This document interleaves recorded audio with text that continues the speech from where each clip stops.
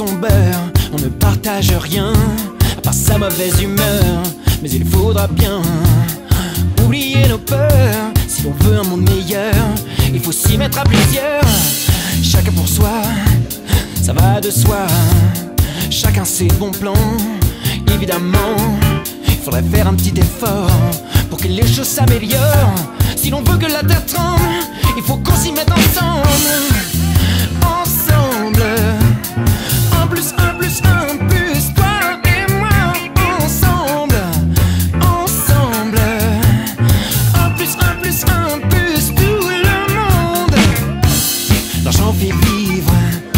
Fait pas le bonheur. C'est écrit dans les livres que dit ma petite sœur. Il faudrait penser autrement qu'individuellement.